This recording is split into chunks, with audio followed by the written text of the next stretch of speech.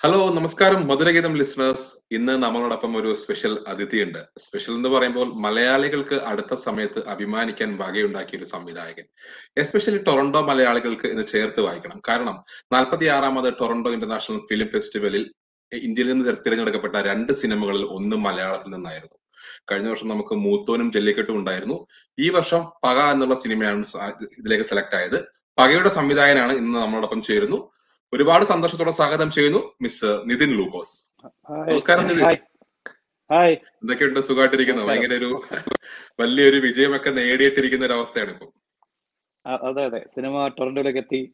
ഒരു ഒരു കൊള്ളാവുന്ന ഒരു സ്പേസ് ഒക്കെയാണ് ഇപ്പോ ഉള്ളത്. തീർച്ചയായിട്ടും. കാരണം പക എന്നുള്ള ഒരു പേരിൽ തന്നെ തുടങ്ങാം. പക എന്നുള്ള ഒരു പേര് മലയാളികൾക്ക് പരിചിതമായ ഒരു ഒരു പേരാണ്. ഒരുപാട് വർഷങ്ങളായിട്ട് മലയാള സിനിമകൾ ഇറങ്ങുന്നുണ്ട്. ഈ പക എന്നുള്ള പേര് സെലക്ട് ചെയ്യുന്ന സമയത്ത് അത് ആരെങ്കിലും എടുത്തിട്ടുണ്ടായിരുന്നോ എന്നൊരു ചിന്ത വന്നിട്ടുണ്ടായിരുന്നു. എന്താണ് പക എന്നുള്ള പേര് സെലക്ട് ചെയ്യുന്നത് അതൊരു ഇൻട്രസ്റ്റിംഗ് ക്വസ്റ്റ്യൻ ആണ്. കാരണം ഒരുപാട് പേര് ഈ ഈ ഒരു ടൈപ്പ് ചിലപ്പോൾ സിനിമയ്ക്ക് വർക്ക് ആവില്ല എന്നൊക്കെ എന്നോട് ഇതിന്റെ കൂടെ പറയായിരുന്നു. ഞങ്ങൾ ഈ പ്രോസസ്സ് ചെയ്യുന്ന സമയങ്ങളിലൊക്കെ. പക്ഷെ എനിക്കൊരു ഒരു ഒരു ട്രസ്റ്റ് ഉണ്ടായിരുന്നു. ഈ പക എന്ന് പറഞ്ഞൊരു ഒരു പേര് ഈ സിനിമയ്ക്ക് ആപ്റ്റ് ആണ്. അത് വർക്ക് ചെയ്യും. കാരണം ഒരു സാധ്യതയുള്ള ഒരു പേരാണ് പക എന്ന് പറയുന്നത്. ഒരു സിനിമയ്ക്ക് പേരിടാനായിട്ട് അപ്പൊ എന്തുകൊണ്ട് ഇത്രയും കാലം പക എന്ന് പറഞ്ഞ ഒരു സിനിമ ഉണ്ടായില്ല എന്നൊക്കെ ഞാൻ ഇങ്ങനെ ആലോചിക്കായിരുന്നു. എന്തുകൊണ്ട് പക എന്ന് പറഞ്ഞ സിനിമ ഒരു ഫീച്ചർ ഫിലിം ആരും ചെയ്തിട്ടില്ല എന്നൊക്കെ ആലോചിക്കുന്നുണ്ടായിരുന്നു. അപ്പോ അതിനൊപ്പം ഈ പക എന്ന് പറയുന്നത് ശരിക്കും മഹാഭാരതത്തിലെ അശ്വത്ഥാമാവാണ് പക. ശ്രീകൃഷ്ണൻ ശപിച്ച് അലയാൻ വിട്ട നമ്മുടെയൊക്കെ കലികാലത്തിന്റെ പകയാണ്. സുധാഭാവയുടെ പക. അങ്ങനെയൊക്കെയാണ് ആ ഒരു ഐഡിയയിലേക്ക് വരുന്നത്. അതാണ് സിനിമയിലുള്ള മൊത്തം റിവെഞ്ച് ഒരു റിവെഞ്ച് സാഗയാണ് സിനിമ. അപ്പോ പക്ഷെ ഇത് എനിക്കൊന്ന് കമ്മട്ടിപ്പാടം എന്ന് പറഞ്ഞ സിനിമയുടെ ആദ്യത്തെ ടൈറ്റിൽ പകയായിരുന്നു.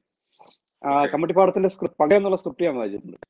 രാജീവേട്ടന്റെ സ്റ്റുഡിയോ രാജീവ് രവിയുടെ സ്റ്റുഡിയോ വെച്ചിട്ട് ആ ഇതിന്റെ സ്ക്രിപ്റ്റ് ഞാൻ വായിക്കുകയും ചെയ്തിട്ടുണ്ട്. അപ്പൊ അന്ന് അതിന്റെ പേര് പറയുന്നത്. അവസാനമാണ് അവർ കമ്മിറ്റി പാടുന്ന പേര് എനിക്ക് മറ്റൊരു കാര്യം ചോദിക്കാനുള്ളത്. മൺചിത്രത്താഴ് എന്നുള്ള ഒരു സിനിമ ഇറങ്ങിയ സമയത്ത് അതിനകത്ത് അല്ലെങ്കിൽ ആ സിനിമ ഇപ്പോഴും കാണുമ്പോൾ അതിനകത്ത് ലാലേട്ടൻ പറയുന്ന ഒരു ഡയലോഗ് ഉണ്ട്. ശോഭനയുടെ ബാല്യം പറയുമ്പോൾ ഒരു ഡയലോഗ് ഉണ്ട്. മുത്തശ്ശി കഥകൾ കേട്ട് വളർന്ന ആ ഒരു ഗംഗ എന്നുള്ള ഒരു കഥാപാത്രം. അതുപോലെ തന്നെയാണ് നിതിന്റെ ഒരു ലൈഫ് മുത്തശ്ശിക്ക് പകരം വല്യമ്മച്ചിയുടെ മടിയിൽ കിടന്ന കഥകൾ കേട്ട് ആ കഥകളിൽ നിന്ന് ഉരുത്തിരിഞ്ഞ ഒരു സിനിമയാണ് പക. ശരിക്കും എന്താണ് അതിന്റെ ഒരു ബാക്ക്ഗ്രൗണ്ട് എന്താണ് അതിന്റെ ഒരു യാഥാർത്ഥ്യം? അതിൽ ഈ അപ്പൊ അമ്മച്ചിയുടെ ഇന്റർവ്യൂ ഒക്കെ ചെയ്തിരുന്നു. ഈ സിനിമ കണ്ടു കഴിഞ്ഞിട്ട് ടൊറന്റോയിൽ അവിടെ സിനിമ കണ്ട മലയാളികൾ കാരണം ഈ സിനിമയിൽ അതിന്റെ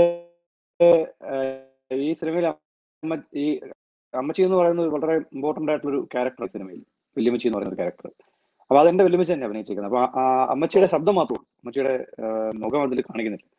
അപ്പൊ ഈ ടൊറന്റോയിൽ സിനിമ കണ്ട അന്ന് ഫെസ്റ്റിവലിൽ കണ്ട ആളുകളൊക്കെ അമ്മച്ചി ആരാണെന്ന് അവർ അമ്മയെ കാണണമെന്ന് പറഞ്ഞിട്ട് അവർ അമ്മച്ചിയുടെ ഒരു ഇന്റർവ്യൂ ഒക്കെ ചെയ്തു അപ്പൊ അതൊരു ഇപ്പൊ തന്നെ പത്ത് മുപ്പത്തയ്യായിരം വ്യൂസ് ഒക്കെ കിട്ടി. അത്യാവശ്യം ഒരു ഒരു ഹിറ്റ് വീഡിയോ ഒക്കെ ആയിട്ടുണ്ട്. അമ്മച്ചി ഭയങ്കര ഹിറ്റ് ഒക്കെ ആയിട്ടുണ്ട്. അപ്പൊ അമ്മ ചെറുപ്പത്തിൽ ബേസിക്കലി അവരുടെ ഒരു ഒരു ഒരു ക്രിസ്ത്യൻ മൈഗ്രേഷൻ ഉണ്ട്. അവർ ഒരു കോട്ടയം പിന്നെ തൊടുപുഴ തൊടുപുഴ എന്നൊക്കെ അവിടെ അവർ വല്യപ്പനും വല്യമ്മയൊക്കെ ഒരു നയന്റീൻ ഫിഫ്റ്റീസിന്റെ എൻഡിലൊക്കെയാണ് വയനാട്ടിലേക്ക് വന്നത്. അപ്പൊ ആ സമയവും അവരുടെ ലൈഫും അപ്പോൾ വയനാട്ടിൽ അങ്ങനെ ഒരുപാട് സ്ഥലമുണ്ട് ഇവിടെ ഇവിടെ കൃഷി ചെയ്യാം ജീവിക്കാന്നൊക്കെ പറഞ്ഞിട്ടൊക്കെയാണ് അവർ വരുന്നത്. പക്ഷെ അവർ വന്ന് ബേസിക്കലി മൈഗ്രൻസിന്റെ ഒരു ലൈഫ് ഉണ്ടല്ലോ. ഒരു ഡിസ്പോസസ്ഡ് ആയിട്ട് ഒരു സ്പേസ് നിന്ന് വന്ന് വേറൊരു സ്ഥലത്തേക്ക് വന്ന് അവർ ഇവിടെ വന്ന് ഇവിടുത്തെ ഒരിക്കലും എളുപ്പമാവില്ല. കാരണം ഇവിടെ വന്ന് നിങ്ങൾ ഒരു പുതിയ ലൈഫ് ഉണ്ടാക്കി എടുക്കണം. ഇവിടെ ഒന്നും ഇല്ല. സിവിലൈസേഷന്റെ തുടക്കം ഒക്കെയാണ് ബേസിക്കലി അവർ ഇവിടെ വന്നിട്ട് ആക്കിയെടുത്തിട്ടുണ്ടാവുക. വയനാട് വയനാട്ടിലെ ഒരു സ്ഥലത്തൊക്കെ. അപ്പൊ അവരുടെ ആ സ്ട്രഗിൾ സംഗതികളൊക്കെ അമ്മച്ചിയൊക്കെ ഇങ്ങനെ പഴയ കഥകളായിട്ടൊക്കെ ഇങ്ങനെ വീട്ടിൽ പറയായിരുന്നു അപ്പൊ ഞങ്ങൾ തറവാട്ടിൽ ഉണ്ടായിരുന്ന സമയത്ത് പിന്നീടാണ് ഇപ്പൊ ആദ്യം എനിക്ക് തോന്നുന്നു ഞാനൊരു ഒരു ഏഴെട്ട് വയസ്സ് വരെയൊക്കെ തറവാട്ടിലായിരുന്നു ഞങ്ങൾ പിന്നീടാണ് മാറിയത്. അപ്പൊ ആ സമയത്തൊക്കെ കണ്ടിന്യൂസ്ലി ഇവർ ഇവർ ഈ ഫാമിലി ഗാദറിങ്ങിലൊക്കെ ഇവർ ഇവരുടെ പഴയ കഥകളൊക്കെ പറയുന്നൊക്കെ നമ്മളിങ്ങനെ കേൾക്കും. അപ്പൊ അതിൽ അതിൽ ആളുകളുടെ എല്ലാ തരത്തിലുള്ള സ്ട്രഗിളിന്റെ കഥകളുണ്ട് അതിൽ. അതിൽ റിവെഞ്ചിന്റെ കഥകളുണ്ട്. ആളുകൾ ഈ ഈ പുഴയുടെ കഥകളുണ്ട്. ഈ പുഴയിൽ ആളുകൾ കൊന്ന് കല്ല് കെട്ടി തത്തി ഡെഡ് ബോഡികൾ ഒളിപ്പിച്ചിരുന്ന കഥകളുണ്ട്. അപ്പൊ ഇതിന്റെ ഒക്കെ ഒരു ഓർമ്മയൊക്കെ ആയിട്ടാണ് ഈ ഈ ഒരു സിനിമ ഞാൻ ഫോം ചെയ്തത്. എന്റെ മെമ്മറീസിന്റെ ഇട നടുക്ക് കൂടെയൊക്കെയാണ് ഈ ഒരു സിനിമയുടെ കഥ തുടങ്ങി വന്നത് ആക്ച്വലി സിനിമ സിനിമ എന്നുള്ളത് ആക്ച്വലി ഇതിന്റെ ലൈഫിൽ കുറച്ച് നാളുകളായിട്ട് ഉള്ള ഒരു സംഭവമാണെന്ന് എനിക്കറിയാം. കാരണം പൂനെ ഫിലിം ഇൻസ്റ്റിറ്റ്യൂട്ടിൽ സൗണ്ട് എഞ്ചിനീയറിംഗ് അല്ലെ? സൗണ്ട് ഡിസൈനിങ് പഠിച്ചിറങ്ങിയ ഒരു വ്യക്തിയാണ്. ഇരുപത്തിയഞ്ച് സിനിമകളോളം ചെയ്ത വ്യക്തിയാണ് പല ഭാഷകളായിട്ട് മലയാളം തമിഴ് തെലുങ്ക് ഹിന്ദിയിലൊക്കെ ആയിട്ട്. അങ്ങനെ ഒരു സൗണ്ട് എഞ്ചിനീയറിംഗ് അല്ലെങ്കിൽ സൗണ്ട് ബാക്ക്ഗ്രൗണ്ടിൽ നിന്നും ഒരു ഡയറക്ടറിലോട്ട് മാറിയപ്പോൾ എന്താണ് എന്തൊക്കെ ചലഞ്ചസ് ആണ് ഫേസ് ചെയ്തത്? അതല്ലെന്നുണ്ടെങ്കിൽ ആ സൗണ്ട് എഞ്ചിനീയറിംഗ് ചെയ്ത സമയത്ത് തന്നെ ഒരു ആഗ്രഹം മനസ്സിലുണ്ടായിരുന്നു ഒരു സിനിമ ഡയറക്ട് ചെയ്യണം എന്നുള്ളത്. എപ്പോഴാണ് അങ്ങനെ ഒരു ആഗ്രഹം തോന്നിയത്? തീർച്ചയായിട്ടും. ഇൻസ്റ്റിറ്റ്യൂട്ടിൽ ഞാൻ ഇൻസ്റ്റിറ്റ്യൂട്ടിൽ പഠിക്കാൻ വന്നത് തന്നെ ഞങ്ങളുടെ ഞാൻ ഡിഗ്രി പഠിച്ച ദേവഗിരി കോളേജ് കോഴിക്കോടുള്ള ദേവഗിരി കോളേജിലാണ് ഞാൻ പഠിച്ചിരുന്നത്. ഞാൻ ഇംഗ്ലീഷ് ലിറ്ററേച്ചർ ആയിരുന്നു ചെയ്തത്. അപ്പോൾ ആ സമയത്ത് അവിടെ ഒരു ഫിലിം ക്ലബ്ബ് ഉണ്ടാവുകയും ആ ഫിലിം ക്ലബിന്റെ ഭാഗമായിട്ട് ഒരുപാട് ഇന്റർനാഷണൽ സിനിമകളൊക്കെ കണ്ട് തുടങ്ങി.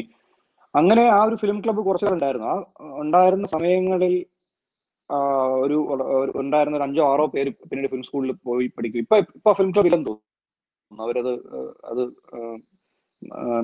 അടച്ചു പൂട്ടിയാണ് കേട്ടത്. അപ്പൊ ആ ക്ലബ്ബ് ഉണ്ടായിരുന്ന സമയങ്ങളിൽ ഒരുപാട് ആളുകൾ സിനിമ പഠിക്കാൻ പോയിരുന്നു. എന്റെ കൂടെ ഉണ്ടായിരുന്ന ഒരു അഞ്ചോ ആറോ പേര് ഈ ഫിലിം ഇൻസ്റ്റിറ്റ്യൂട്ടുകളിലൊക്കെ പോയിട്ടുണ്ട്. പല പല പല ഇൻസ്റ്റിറ്റ്യൂട്ടുകളൊക്കെ ആയിട്ട് പോയി.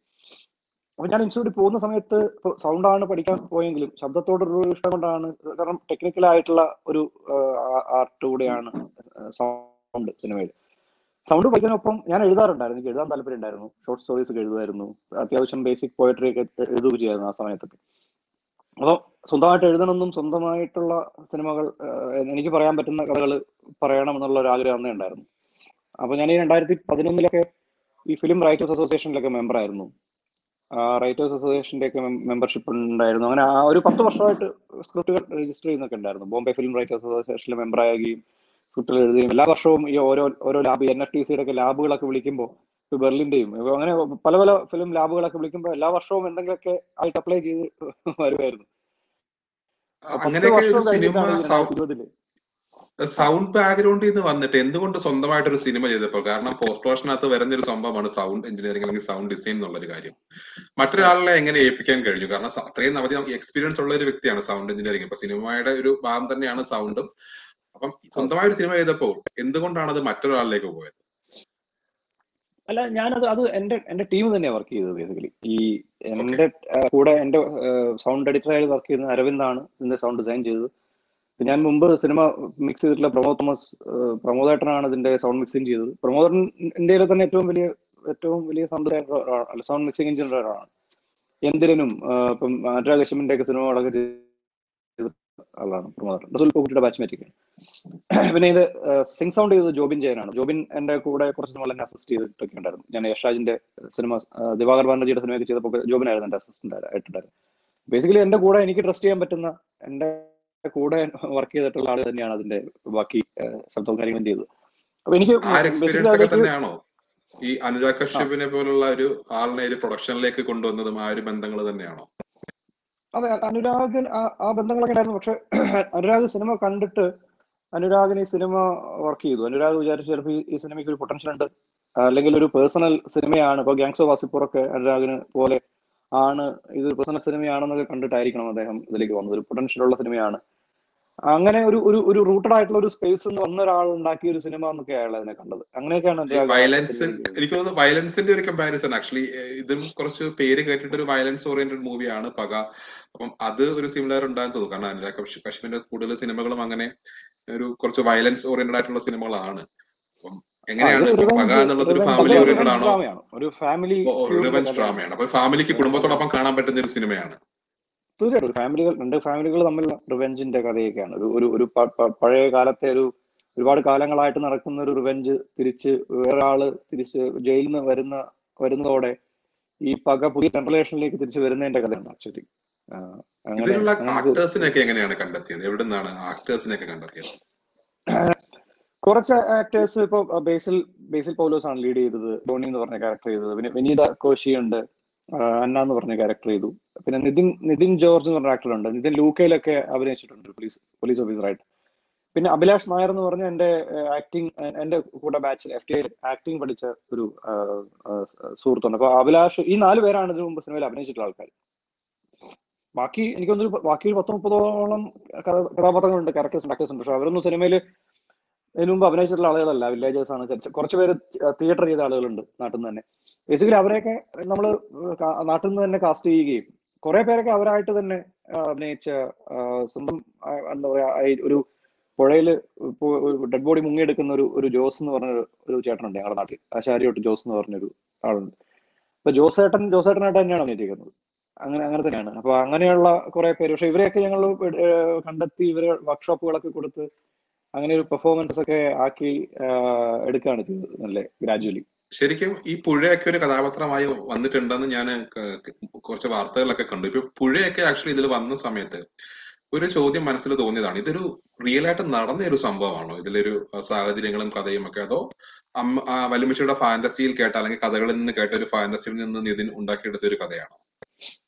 അല്ല ഈ ഈ പുഴ റെയിലാണ് ഈ ആളുകൾ മരിക്കുന്ന ഒരുപാട് ആളുകൾ മരിക്കാറ് മരിച്ചിട്ടുള്ള ഒരു പുഴയാണ്. ഇപ്പോഴും ആളുകൾ മരിക്കുന്നുണ്ട്. കഴിഞ്ഞ കഴിഞ്ഞ ആഴ്ച തന്നെ ഒരാൾ അതിൽ വീണു. എനിക്ക് തോന്നുന്നു അയാൾ അയാൾ മരിച്ചില്ല. അതിനു മുമ്പ് ആരും അയാളെ ചാടി രക്ഷപ്പെടുത്തുകയൊക്കെ ചെയ്തിരുന്നു.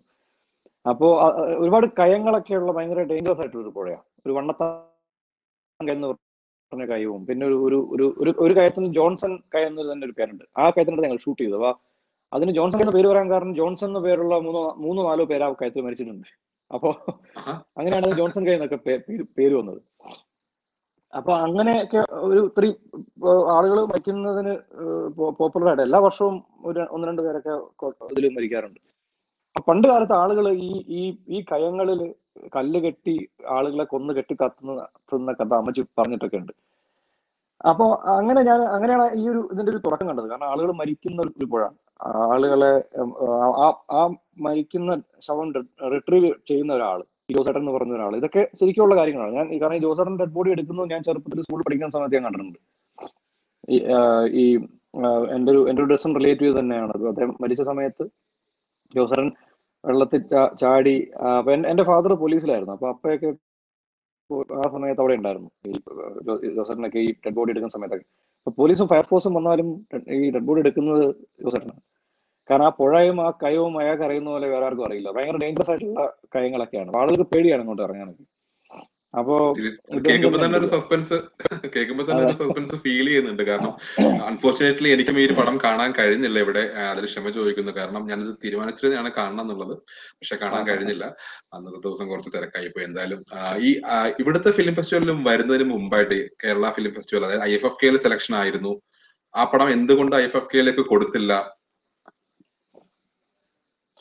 അല്ല അന്ന് ഞങ്ങൾ വിചാരിച്ചത് ഐ എഫ് എഫ് കെയിൽ സെലക്ട് ആയതിനൊപ്പം അത് അന്ന് എൻ എഫ് ഡി സിയുടെ വർക്ക് ഇൻ പ്രോഗ്രസ് ലാബിൽ സെലക്ട് ആയിരുന്നു ഫിലിം ബസാറിന്റെ അപ്പോൾ ഫിലിം ബസാറിൽ വരുമ്പം സിനിമ വീണ്ടും എഡിറ്റ് ആവുകയും അപ്പോൾ ഞാൻ അവിടെ കാണിച്ചു കഴിഞ്ഞാൽ എന്റെ വേൾഡ് പ്രീമിയർ സ്റ്റാറ്റസ് പോവുമായിരുന്നു സിനിമയുടെ അപ്പോൾ ഞങ്ങൾ വിചാരിച്ചു സിനിമ എഡിറ്റ് ചെയ്ത് ആ ഒരു യൂറോപ്പിൽ നിന്നുള്ള മെന്റേഴ്സ് ഒക്കെ വരികയും അപ്പോൾ ആ ലാബ് അറ്റൻഡ് ചെയ്യുന്ന സിനിമയ്ക്ക് നല്ലതാണെന്ന് തോന്നിയതുകൊണ്ട് സിനിമ കഴിഞ്ഞിട്ടില്ല വീണ്ടും ഞങ്ങൾ എഡിറ്റ് ചെയ്യാൻ തീരുമാനിച്ചതുകൊണ്ടാണ് അന്ന് ഐ എഫ് എഫ് കെയിലേക്ക് കൊടുക്കാതിരുന്നത് ആ സമയത്ത് ടിഫിൽ സെലക്ഷൻ ആയിട്ടുണ്ടായിരുന്നില്ല. ഇല്ല ഇല്ല അന്ന് ഫിലിം ബസാറിൽ എൻ എഫ് ഡി ഫിലിം ബസാറിൽ സെലക്ട് ആയിരുന്നു. അപ്പോൾ ആ സമയത്ത് ഞങ്ങൾ പിന്നെ എന്നാൽ കുറച്ചുകൂടെ ഒരു എഡിറ്റ് ഒക്കെ ചെയ്ത് കഴിഞ്ഞിട്ട് വേറെ ഫെസ്റ്റിവൽ അറ്റംപ്റ്റ് ചെയ്യാം എന്നൊക്കെ ആയിരുന്നു വിചാരിച്ചത്. അപ്പൊ ചിലപ്പോൾ മിക്കവാറും ഈ വർഷം ഐ എഫ് കെയിലേക്ക് തിരിച്ചു വരാൻ സാധ്യതയുണ്ട്. ഓക്കെ അതായിരുന്നു ഒരു ഡയറക്ടറുടെ കോൺഫിഡൻസ് കാരണം ഒരു വേൾഡ് പ്രീമിയർ ആയിട്ട് തന്നെ എന്റെ സിനിമ ലോകത്തിന് മുമ്പിൽ കാണണം അല്ലെങ്കിൽ ആ ഒരു രീതിയിലേക്ക് തന്നെ മാർക്കറ്റ് ചെയ്യപ്പെടണം എന്നൊരു കോൺഫിഡൻസ് നമ്മുടെ പ്രൊഡക്റ്റിലുള്ള ഒരു വിശ്വാസം. എന്നാണ് ഈ ഒരു സിനിമ ഞങ്ങളിലേക്ക് പ്രേക്ഷകരിലേക്ക് സാധാരണക്കാർക്ക് കാണാൻ കഴിയുന്നത്. ഏതെങ്കിലും ഒ ടി ടി പ്ലാറ്റ്ഫോം വഴിയാണോ റിലീസ് ഉദ്ദേശിക്കുന്നത്? കാരണം തിയേറ്ററൊക്കെ ഇപ്പൊ തുറക്കും എന്നുള്ള വാർത്തകൾ വന്നു കഴിഞ്ഞു. എന്താണ് അതിന്റെ. ഭാവി പരിപാടികൾ സിനിമയുടെ തിയേറ്റർ തുറക്കുന്നുള്ളത് വളരെ വളരെ നല്ല ന്യൂസ് ആണ്. കാരണം സിനിമ തുറക്കാൻ ഒരു സ്പേസ് ഇല്ലാതെ സിനിമകൾ ഉണ്ടാവില്ല. അത് വലിയൊരു അൺഫോർച്ചുനേറ്റ് ആയിട്ടുള്ള സംഗതിയാണ് ഈ ഒരു പ്രത്യേകിച്ച് ആർട്ട് എന്നൊക്കെ പറയുന്നത്. കാരണം ഒരു- ക്രൈസിസ് വന്ന് കഴിയുമ്പോൾ എന്റെ ഏറ്റവും ലോസ്റ്റ് പ്രയോറിറ്റി സർവൈവലൊക്കെ കഴിഞ്ഞിട്ടില്ല. അപ്പൊ ഇപ്പൊ സിനിമ തുറക്കാൻ പോവാന്നുള്ളത് തിയേറ്റർ തുറക്കാൻ പോകുന്നുള്ളത് വലിയ ന്യൂസ് ആണ്. അപ്പം ഞങ്ങൾക്ക് തോന്നുന്നത് മിക്കവാറും ഒരു ഞങ്ങളുടെ ജനുവരി ഫെബ്രുവരി വരെയുള്ള കുറച്ച് ഫെസ്റ്റിവൽസ് ഒന്ന് കവർ ചെയ്തിട്ട്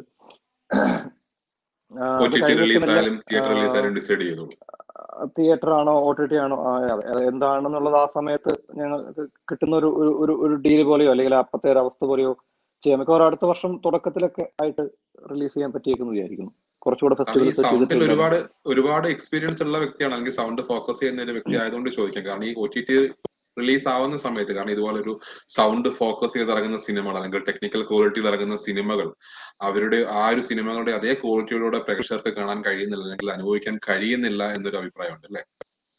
തീർച്ചയായിട്ടും. പിന്നെ തിയേറ്ററാണ് തിയേറ്റർ തിയേറ്ററാണ് സിനിമയുടെ മീഡിയം ബേസിക്കലി സിനിമ ഉണ്ടാക്കുന്നത് തിയേറ്ററിന് വേണ്ടിയാണ് നമ്മൾ സൗണ്ട് മിക്സ് ചെയ്യുന്നതും കളർ ചെയ്യുന്നതൊക്കെ വലിയ സ്ക്രീനിൽ അത് സിനിമയ്ക്ക് ഒരു വലിയൊരു അംഗീകാരമാണ്. കാരണം ടൊറന്റോ ഇന്റർനാഷണൽ ഫിലിം ഫെസ്റ്റിവൽ പോലൊരു ഫിലിം ഫെസ്റ്റിവലിൽ വേൾഡ് പ്രീമിയർ ആയിട്ട് സെലക്ഷൻ ആകുക എന്നുള്ളത് തന്നെ വലിയൊരു കാര്യമാണ്. ഇതിന്റെ ഭാവി പരിപാടികൾക്കായാലും എല്ലാത്തിനും ഒത്തിരി ആശംസകൾ നേരുന്നു. ഞങ്ങളോടൊപ്പം കുറച്ച് സമയം ഇന്ന് സംസാരിക്കാൻ കഴിഞ്ഞതിൽ സംസാരിക്കാൻ സമയം തന്നതിൽ ഒത്തിരി നന്ദി രേഖപ്പെടുത്തുകയാണ് നിതിന്റെ അടുത്ത്. താങ്ക് യു വെരി മച്ച് എന്തെങ്കിലും നിതിന് പറയാനുണ്ടെങ്കിൽ പറയാം പ്രേക്ഷകരോട് അതിരകത്തിന്റെ ബിസിനസ്സിനോട് തീർച്ചയായിട്ടും. Thank you thanks lot for ഈ ഇന്റർവ്യൂ കാരണം ഇങ്ങനെയുള്ള ഒരു ഒരു പ്രത്യേകിച്ച് അങ്ങനെ അവിടെ ടൊറന്റോ പോലത്തെ സ്പേസിൽ വരികയും അവിടെ ഉള്ള ഒരു ഓഡിയൻസിനോട് സിനിമ പ്രസന്റ് ചെയ്യാനൊക്കെ പറ്റിയതിലൊക്കെ ഒരുപാട് സന്തോഷമുണ്ട്. അപ്പം ഞങ്ങൾ അങ്ങനെ ഞങ്ങൾ ഉണ്ടാക്കുന്ന സമയത്തൊന്നും അങ്ങനെ വിചാരിച്ച് ചെയ്തൊരു സിനിമയൊന്നായിരുന്നില്ല പക്ഷെ ഗ്രാജുവലി ഇത് അവിടെ എത്തി. അപ്പൊ അതിന് ഇപ്പൊ സംസാരിക്കാൻ ഒരു ഒരു പ്ലാറ്റ്ഫോം തന്നതിന് ഒരുപാട് നന്ദിയുണ്ട്.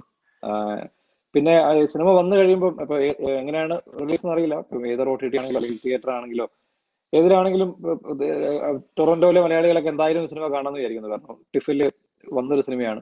അപ്പൊ എല്ലാവരും സിനിമ കാണുക